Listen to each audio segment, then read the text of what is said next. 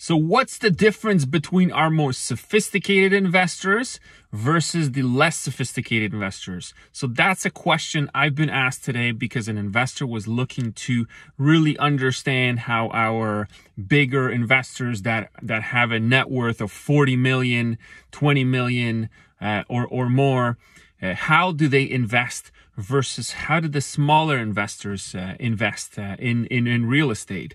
So I would say the main difference is that um, a lot of the less sophisticated investors just haven't taken the time to educate themselves. So they follow a lot of what the media says. So if the media starts talking about, um, real estate markets are plummeting, they're they're going up, there's going to be a crash, then they start getting concerned and then then then they freeze and then ask a bunch of questions and says this is the right time, hesitate and and, and such. So however, if media is talking about great things, um, such as that sometimes around real estate they talked around the around COVID where, where interest rates uh, were still low.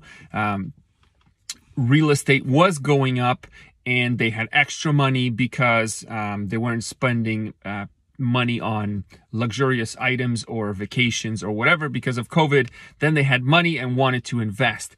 However, that wasn't the ideal time to invest for most people. We really needed to search and search search for deals and make them happen. And yes, we got we got a, a good investment or two around COVID. But then when COVID finished, so around now, so, so there are interest rates, there's all this discussion about what's going to happen. Uh, real estate is over, uh, overinflated. However, looking at the fundamentals, uh, when the larger investors, the 40 million to 50 million net worth people, when they invest with us, they, they're now investing big and then really quickly. And why is that? In, in this in the middle of this interest rate uh, craziness, right?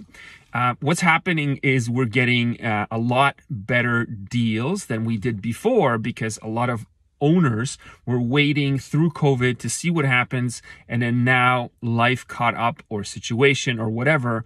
Um, so they waited long enough, so they're starting to sell their buildings.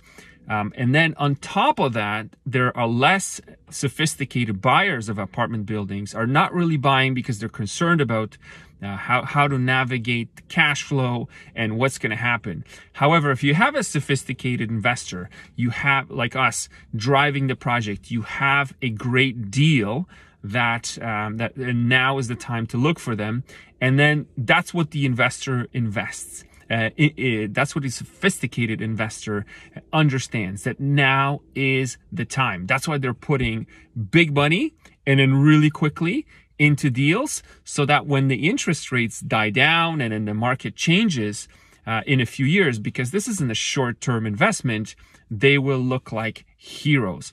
And then I would say that's the difference. And the other investors are holding back. They're still holding tight. Great deals are happening. I'm telling them this is this is the time to invest again.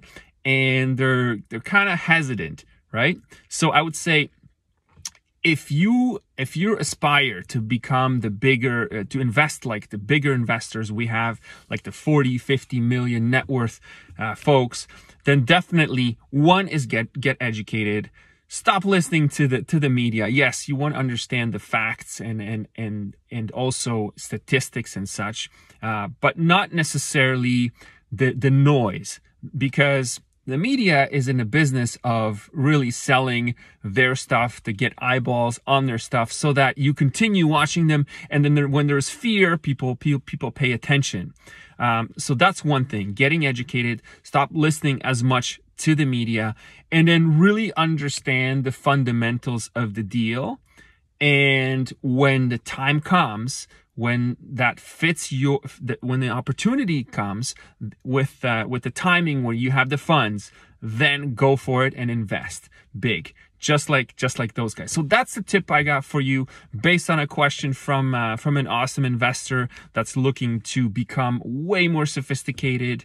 Uh, and he's already sophisticated enough, but he's looking to go to the next level. Uh, but uh, yeah, take care, continue investing. Uh, if you haven't already, uh, sign up for our investor circle, and we'll see you in in the next video.